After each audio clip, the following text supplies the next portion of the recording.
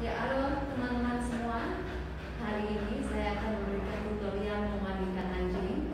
Kalau teman-teman punya anjing kesayangan di rumah, pasti suka kalau anjingnya bersih dan wangi ya. Hari ini kita akan memandikan salah satu anjing saya, Golden Retriever, namanya Rio. Yang harus kita siapkan, yang pertama pasti handuk. Kedua, sampo-nya. Teman-teman bisa pilih merek sampo sesuai dengan keinginan masing-masing.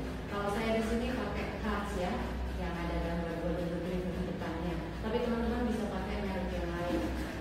Kemudian siapkan juga hard dryer untuk mengeringkan ya, hair dryer. Ini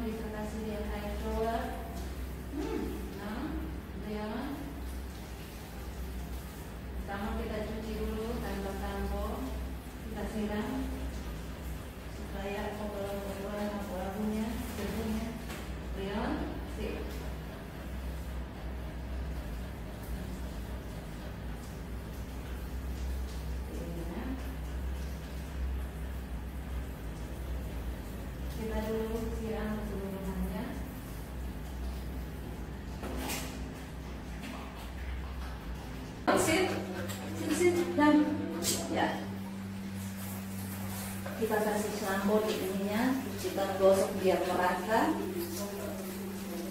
Ini Brion sudah besar sekali ya, jadi kita tidak bisa pakai samponya sedikit ya harus ditambah lagi. Kawin. Brion.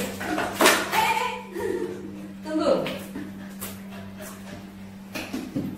Nih.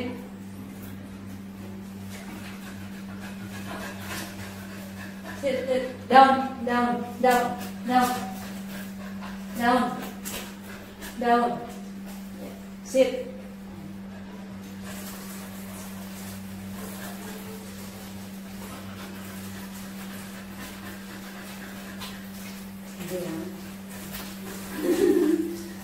Ini Brian menikmati sekali ya disiram. Ya, ini kita belajar sama-sama memandikan anjing. Ini Brion lihat ini ada bekas gigitan waktu dia berkelahi dengan Bernie sesama anjing jantan di rumah. Tapi sudah kering karena saya kasih minyak tawon waktu dia luka ya. Brion, ini kita sikat bulunya biar bersih. Pakai sikat seperti ini biar bulu-bulu yang rontok juga bisa dikeluarkan. Lihat Brion tiduran. Keenakan dia ya. Eh, sambonya baunya enak sampai dijilatin. Ya, ekornya juga perlu teman-teman sikat biar bagus. Karena kadang-kadang ekornya dia tuh suka kotor.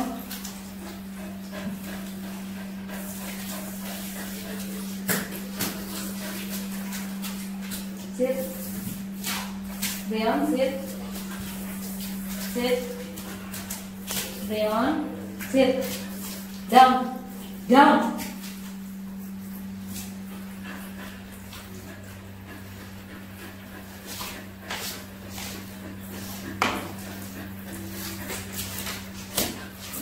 atau kalau teman-teman anjingnya uh, bulunya sedikit bisa pakai jenis yang seperti ini ya untuk dia bergosok cuma kalau bulunya tebal biasanya kurang manjur kita pakai sikat sit.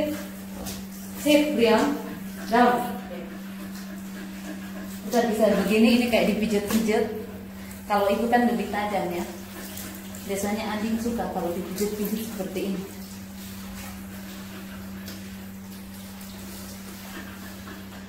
Brian hmm. pastikan juga ini bulu-bulu di leher ini yang sering potong juga teman-teman harus perhatikan jangan sampai ada bulu yang menggumpal. Kalau ada bulu yang sudah menggumpal itu bisa jadi tempat kotoran. Jadi biasanya kalau ada bulu menggumpal saya gunting. Saya cek dulu ya di sini ada yang menggumpal atau tidak. Ya ini ada sedikit yang menggumpal saya akan gunting.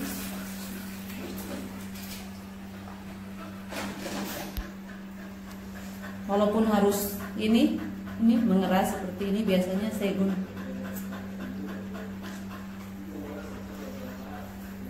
supaya tidak ada lagi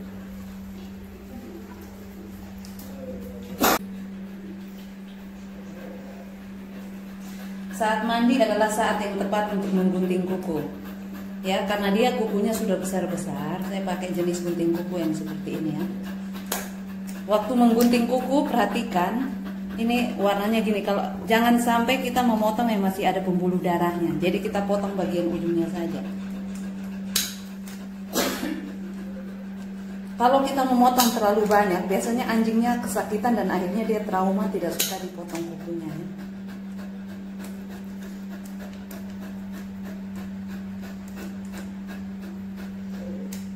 ini keras sekali nih lihat nih Nebrion kukunya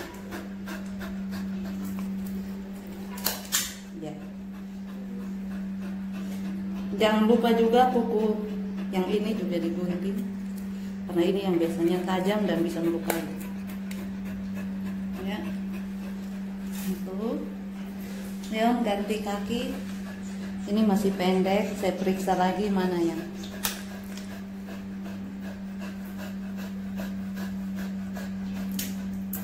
Ini teman-teman lihat jenis guntingannya tuh begini ya.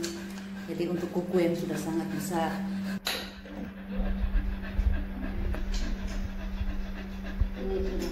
saya biasanya periksa kadang-kadang kuku yang sering mereka pakai itu lebih cepat tumbuhnya. Kaki biasanya tidak terlalu. Tapi ke kaki belakang kaki depan ini yang biasanya cepat. Sudah. Sambil kita periksa di celah-celah tidak boleh ada kutu dan lain-lain. Tapi biasanya anjing ras karena kita sudah kasih makanan yang bagus terus tidak main sembarangan terus biasanya saya pakai obat kutu tertentu. Kalau saya lihat dia sudah bermain dengan anjing lain yang berkutu. Jadi ini Brion tidak ada kutunya ya. Sekarang kita bilas sekali lagi sebelum kita keringkan. Brion. Namanya Brion. Dijilatin Greyon ini termasuk jenis anjing yang ramah ya. Dia juga tidak suka berlarian terlalu jauh dari pemiliknya. Beda dengan anjing kampung yang lain, dia lebih suka mengikuti pemiliknya ke mana-mana. Jadi tidak suka bermain sendiri, tetapi bermain dengan pemiliknya. Untuk teman-teman yang mau pertama kali memelihara anjing, saya sarankan memelihara golden retriever dulu sebelum memelihara Siberian Husky karena Siberian Husky lebih sulit penanganannya. Ya. Golden lebih ramah, lebih nurut, tidak suka mengejar-ngejar binatang yang lain. Kalau Husky suka mengejar binatang kecil lainnya. Udah, Brion? Down. Down. lumayan. Riong sudah? Halo. Halo. Ini dia sudah bosan main air ini dia sudah mau mengeringkan diri. Ya kalau sudah seperti ini kita lihat dia mulai agak dingin kita harus hentikan dulu. Ya kita akan tunggu airnya turun akan kita lap dengan handuk hmm? Hmm? Hmm?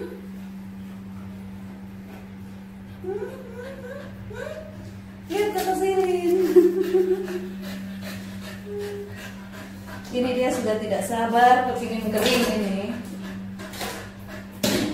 Sudah? Kalau sudah teman-teman bisa pakai handuk bekasnya untuk dikhususkan buat anjing di rumah ya. Ini dulu handuk saya sudah robek kena mesin cuci jadi saya pakai buat ini. Ini kita simpan dulu barang-barangnya. Brion, pakai, ups.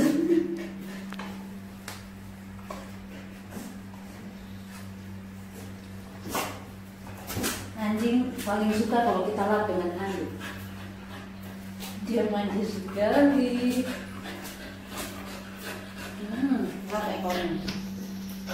Kalau masih kecil biasanya saya lilit baru saya gendong, tapi sekarang dia sudah terlalu besar untuk digendong, terlalu berat. Jadi kita keringkan di sini ya. Di sini kita pakai dryer ya, ya bos ya.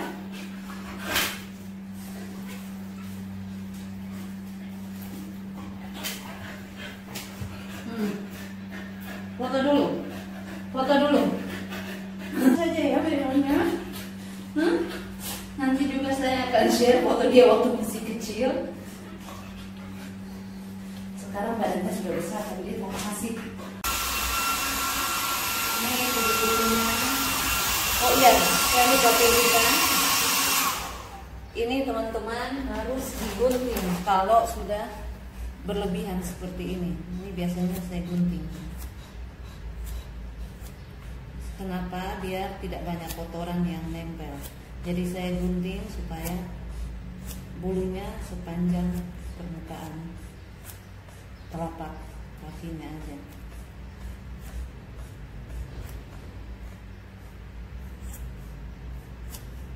Hmm. Ini juga, lihat kan? Biasanya cepat panjang nih yang bulu di celah-celah telapak.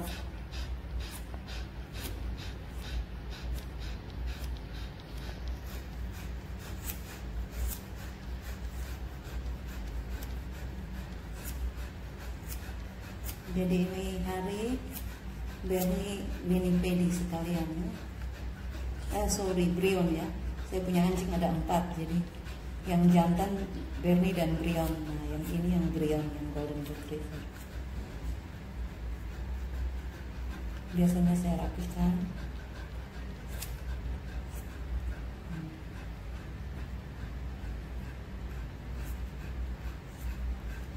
Apalagi kalau teman-teman punya anjing yang main dengan anak-anak harus sering dimandikan dan dibersihkan supaya tidak membawa kotoran.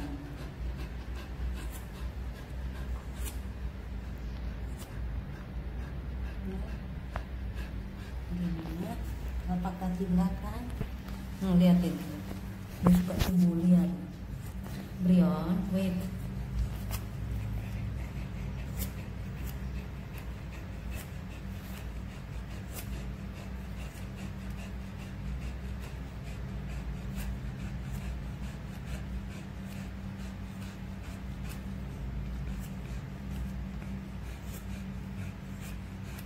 ini teman-teman gunting sih cukup biasa saya bulu-bulu di sini juga saya gunting supaya jangan terlalu lebar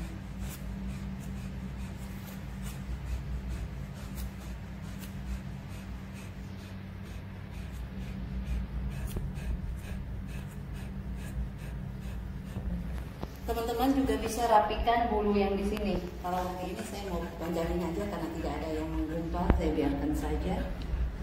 Ini kaki belakang. Come.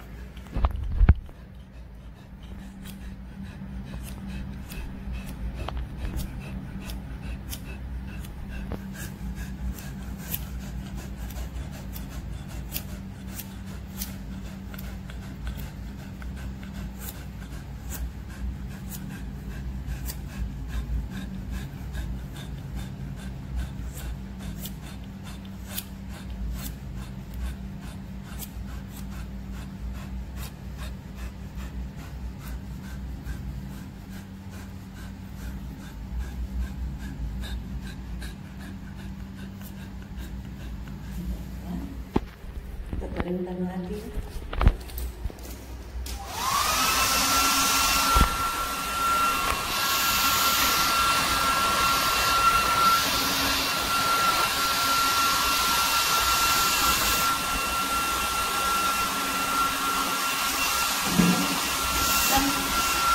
sekarang ekor ini paling susah nih dari ekor karena anjing kan sebenarnya tidak terlalu suka ekornya dipegang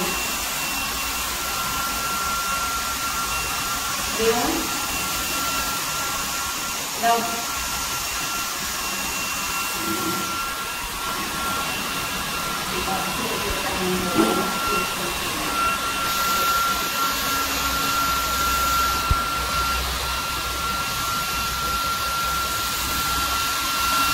golden memang sangat suka nempel sama pemilik ya. Dia tidak mau ke mana-mana, sukanya main sama kita.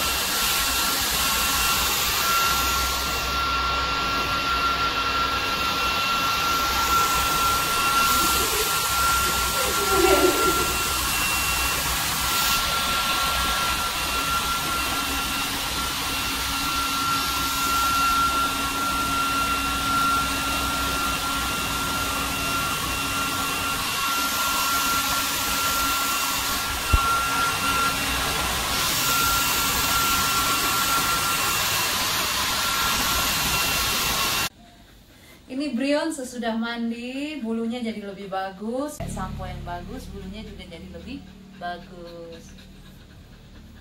Ini lihat bulunya makin panjang-panjang, lebih lurus karena tadi disikat pakai sikat bulu, jadinya lebih rapi. Kalau kita sering menyikat dengan sikat bulu, gumpalannya jarang terjadi. Cuma kadang-kadang kita tidak punya waktu, lalu dia main air, kotor dan lain-lain, akhirnya bulunya menggumpal ya. Jadi perhatikan baik-baik. Lihat badannya, bulunya kalau sudah dibersihkan baru habis mandi, cakep kan?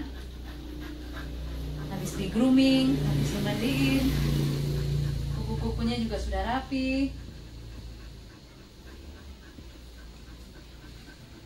Jadi inilah teman-teman bisa dicoba kalau punya anjing di rumah bisa melakukan seperti yang saya contohkan tadi kalau jenis ini teman-teman bisa mandiin sebulan dua tiga kali. Tapi sebaiknya kalau dia tidak terlalu kotor jangan terlalu sering dimandiin ya. Karena nanti bisa flu juga. Ya? Dan pastikan kalau sudah habis mandi biar dia tidak kedinginan cepat di uh, hair dryer bisa biar dia cepat kering. Ya? Ini udah capek? Tadi dia kebanyakan jalan-jalan, ikut saya ke kantor. Sekarang sudah saatnya beristirahat ya.